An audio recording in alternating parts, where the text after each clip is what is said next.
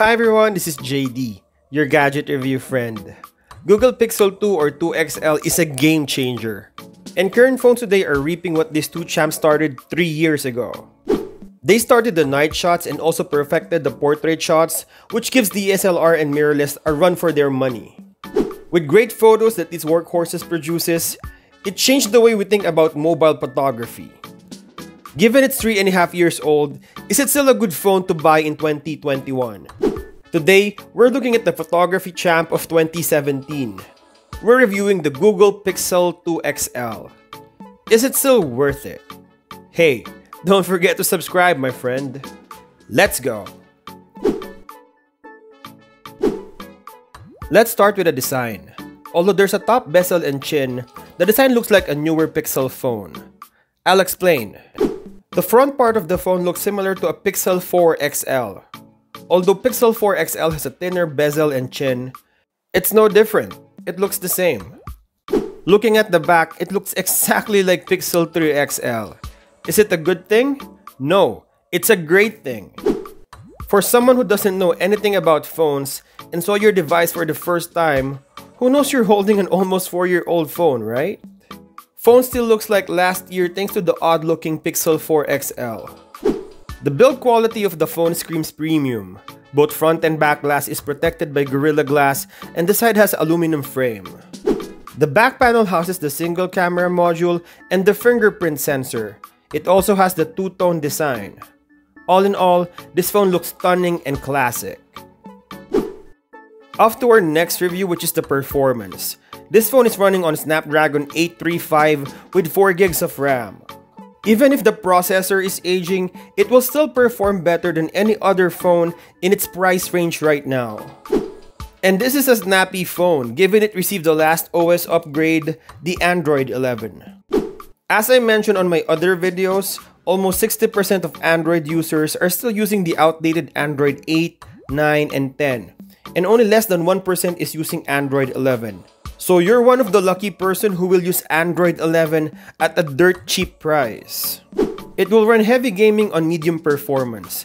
I felt some hiccups in some cases, but nothing striking.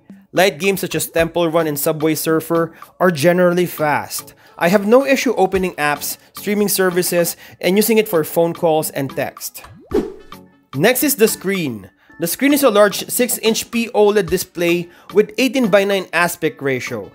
Although the phone is big, the screen real estate is smaller compared to the size of the newer phones today since the upper and lower bezels have stereo speakers. It has 438 nits of max brightness that is just sufficient for an outdoor use. Visibility on direct sunlight is challenging in most situations with darker background and text. The colors of the screen are punchy and has deep blacks. And yes, it's not the best OLED panel, but I will take this dimmer OLED screen than a bright LCD display any time of the day. Hey, just a side note, if you own Pixel 2 or Pixel 2 XL, we will make more videos about these phones in the future. We keep all our devices and do more content about it. Please subscribe to our channel. It means a lot to us. We're uploading daily. On to our next review which is the sound. This is one of the strengths of Pixel 2 XL aside from the camera. It has two front firing stereo speakers. This is one of my best sound tests I've done on this channel. I'm testing it together with my Pixel 3 XL.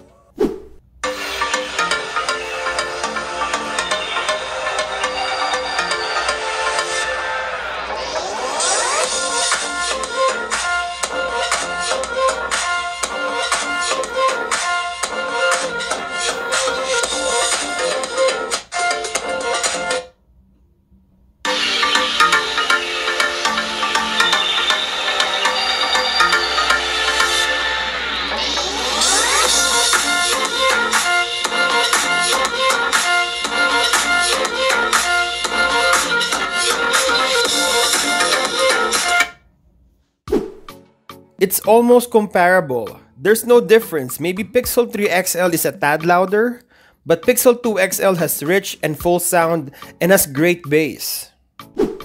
Next is battery. Depending on how old your device is, this is a mixed bag for us.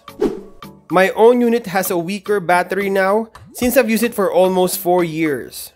I can still play one and a half hour of solid gaming, an hour of video and music streaming, another hour for social networking, and occasional use for call, text, and camera.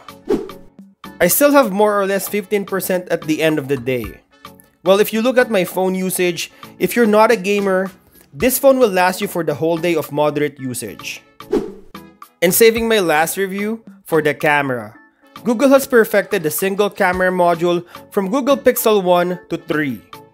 It feels like when all phone manufacturers are adding more and more camera modules to their phones, Google is just straight up flexing their computational photography. Pixel 2 XL only has a single outdated 12 megapixel sensor. And when you think that's a disadvantage, images that comes out of this phone are clear, punchy, and confident. It's like the images you will see from the newer phones today or even for the next 2 to 3 years. It is honestly good. Videos can record 4K at 30 FPS, 1080 at 30 FPS, and 720p at 240 FPS, all with Gyro EIS or Electronic Image Stabilization. Videos are good. So what is Gadget RevNow's verdict? Pixel 2 XL in 2021. I don't see any groundbreaking phone photography technology or technique that will beat what Pixel 2 XL can produce. Sure, there might be a slight difference from the newer Pixel phones, but honest to goodness, it does not translate to real life photography experience. Everything is just hype and marketing. If you have this phone, the only issue I see is the weak battery life at this point. It might not be as strong as it used to be. The mediocre screen might also be one of the factor why you wanted to switch to a newer phone. But everything else from Android 11 OS camera performance, and build quality, it is still a solid phone for 2021.